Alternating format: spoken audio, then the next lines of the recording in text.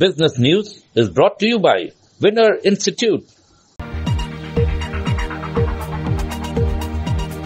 नमस्कार मैं Bhagyashree. Business news के बिज़नेस समाचार में आप सभी का स्वागत है। खबरों की ओर बढ़ने से पहले आइए डालते एक नज़र आज की सुर्खियों पर। पंद्रह वर्ष में पहली बार चावल की कीमत उछाल थमने का नाम नहीं ले रही। चावल की सप्लाई बाधित होने के कारण लोगों की परेशानियाँ बढ़ी। और वैश्विक बाजारों में से भारत का शराब निर्यात एक अरब डॉलर पर पहुँचने का अनुमान। विश्व भर में भारत से शराब से बने उत्पादकों का निर्यात एक अरब डॉलर की पार।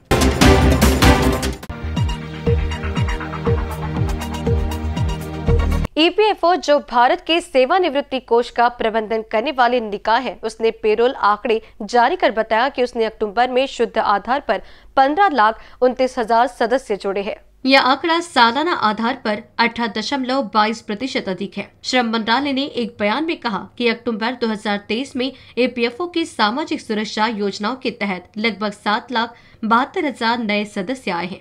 यह आंकड़ा पिछले साल इसी महीने की तुलना में छह दशमलव शून्य सात प्रतिशत अधिक है। Bureau report in news. भारी डिमांड के कारण चावल की कीमतों में उछाल थमने का नाम नहीं ले रहा है। चावल के दाम 15 वर्ष के उच्च स्तरों पर जा पहुँचा है। अल के असर के चलते चावल की सप्लाई बाधित हुई है। आने वाले दिनों में चावल के और महँगे होने की संभावना जताई जा रही है।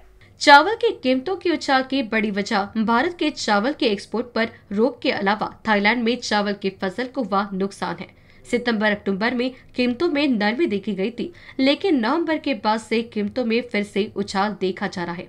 अलिनो के चलते एशिया में चावल की फ़सल को बहुत नुकसान पहुँचा है, जिसके कारण चावल के दाम ऊंचाई झूरे हैं। ब्यूरो रिपोर्ट इन बिसन न्यूज़।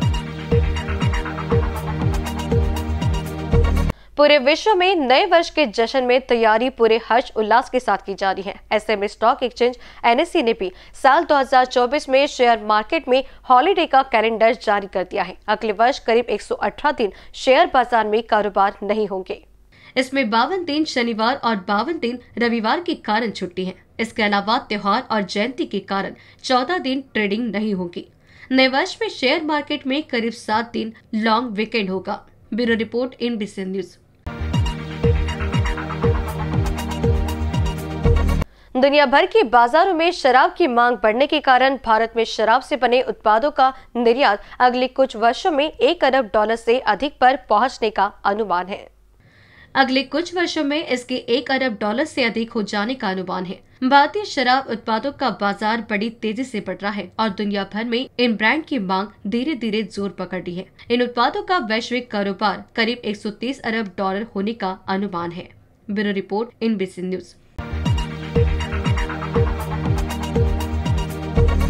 Intel ने इस बार चीफ ज्वाइंट की नौकरी में कटौती के पाँचवें राउंड में 235 कर्मचारियों की छटनी कर रहा है और 2024 में कंपनी में और ज़्यादा कर्मचारियों की छटनी करेगा। छटनी 31 दिसंबर से शुरू होने वाली है और दो सप्ताह तक चलेगी। कंपनी के एक प्रवक्ता के हवाले से कहा गया कि इंटेल कंपनी भर में कुछ बिज़नेस और फ़ंक्शन स्पेसिफिक वर्क प्लेस कटौती सहित लागत कम करते हुए अपनी रणनीति में तेज़ी लाने के लिए काम कर रही है। Bureau report in news.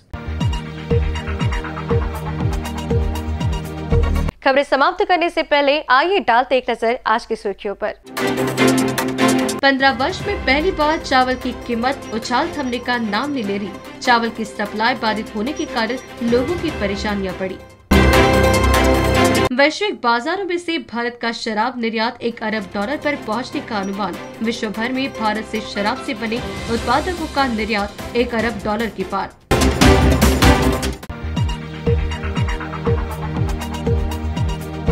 Business समाचार में फ़िलहाल इतना ही। ताज़ा खबरों के लिए देखते रहिए इन न्यूज़ नमस्कार।